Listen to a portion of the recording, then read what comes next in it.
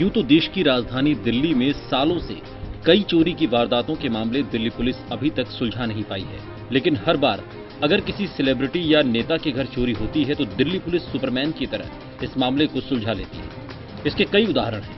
एक और नया मामला सामने आया है। दरअसल दिल्ली पुलिस ने पंजाबी सिंगर मेका सिंह के घर हुई चोरी की गुत्थी को सुलझा लिया है।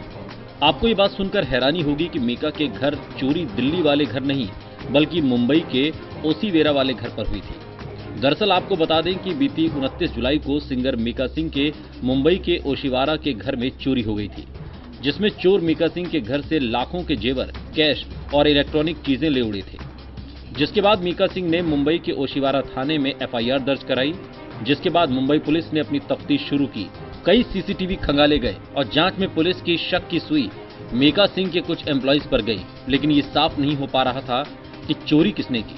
लेकिन मेका सिंह का एडिटर अंकित जब दो दिन के बाद वापस स्टूडियो नहीं पहुँचा, तब मुंबई पुलिस का शक अंकित पर और गहराता गया। दरअसल उनतीस जुलाई को मुंबई के ओशिवारा थाने में पंजाबी सिंगर मीका सिंह ने अपने घर में चोरी होने की एफआईआर दर्ज कराई थी, जिसके बाद मुंबई पुलिस ने अपनी तफ्तीश शुरू की और तमाम सीसीटीवी फुटेज खंगाले। लेकिन शुरुआती जाँच में ये साफ़ नहीं हो पा रहा था कि आखिर ये चोरी की किसने है।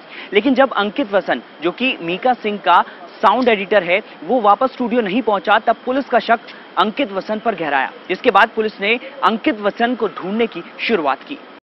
आपको बता दें कि अंकित दिल्ली से है तो मुंबई पुलिस ने सीधा दिल्ली पुलिस को सूचना दी और इस मामले में मदद मांगी। जिसके बाद दिल्ली पुलिस की कीर्ति नगर थाने ने कई टीमों का गठन किया और टेक्निकल सर्विलांस की बिना पर मेका सिंह के एडिटर अंकित वसन को विकासपुरी के इलाके से बरामद कर लिया।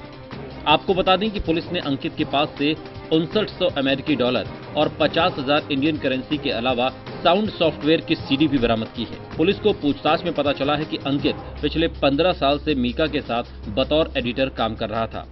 अंकित पहले भी कई बार मीका के घर से कैश और कीमती सामान की चोरी कर चुका है, लेकिन इस बार अंकित मीका के घर से मोटे सामान पर हाथ साफ़ कर दिया और यही वजह है कि मीका की नज़रों में आ गया।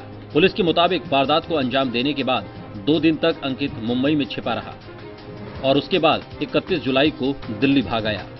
जहाँ उसे पुलिस ने विकासपुरी इलाके से धर दबोचा। बहरहाल, दिल्ली पुलिस ने मीका सिंह के मुंबई वाले घर में हुई चोरी की गुत्थी तो सुलझा दी। लेकिन ऐसे में सवाल यह है कि जहाँ एक तरफ़ आम आदमी के मामले सुलझने का नाम नहीं लेते तो वहीं दूसरी तरफ़ इन तमाम सेलिब्रिटीज और नेताओं से जुड़े मामले इतनी फुर्ती से आखिरकार कैसे सुलझ जाते हैं? कैमरामैन अनिल चौरेसा के साथ दिवांशु मल्होत्रा टोटल न्यूज़ दिल्ली।